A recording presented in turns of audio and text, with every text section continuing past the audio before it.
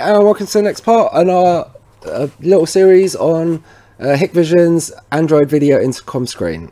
Okay then, so now you guys should have it all configured, Hik-Connect running, and what we're going to be doing is adding third-party Android apps to our device.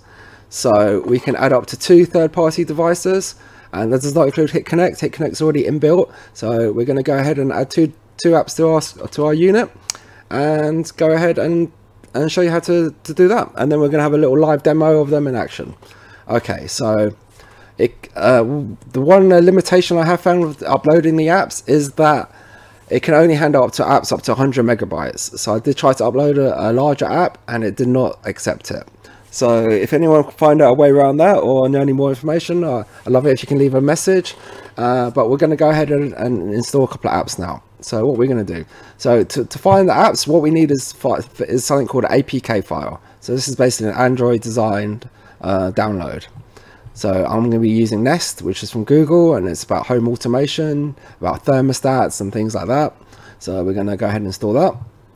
And we're going to go ahead and install Spotify, just for a bit of music, just for a bit of fun. Okay, uh, so uh, just go ahead and download these. I've gone ahead and done that already.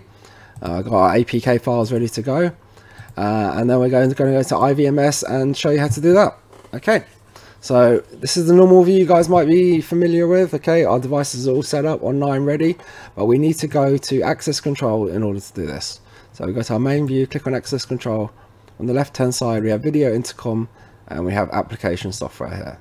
Okay.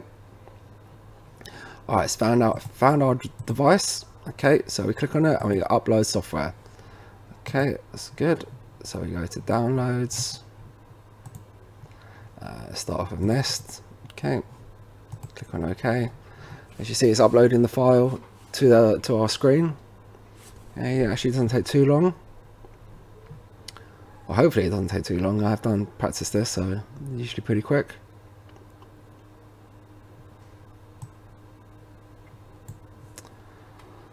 So I give it a second and then we'll go ahead and upload the other app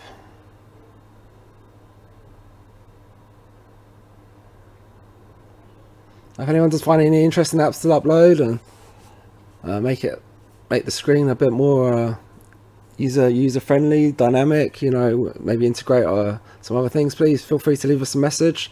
Uh, try and get back to you guys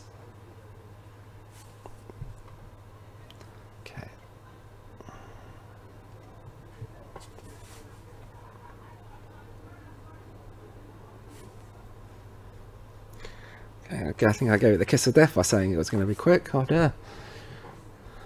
Hopefully not too much longer now.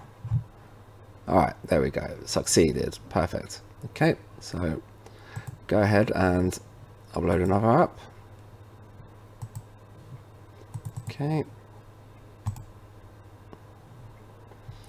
Alright, well I'm not going to stand around and wait for this to upload. I'm going to uh, just give it a few seconds, then I'm going to flip over to the live view, and I'll see you guys there, and we can see the apps in action. All right, catch you in a sec. All right, guys, so we're over to our live view now. As you can see here, our two apps are being installed, Nest and Spotify. Okay, I'm not going to really explain to you guys what apps are. I'm sure you all know what that is. But I will just quickly uh, show you them in action quickly.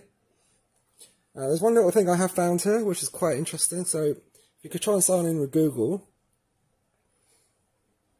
bring up a nice little web browser here.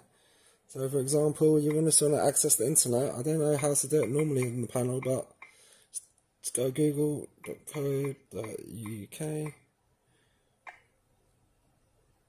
and then we're on Google, okay? So let's try a website.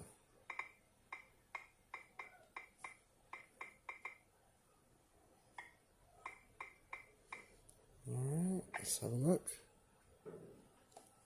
Alright, there's us.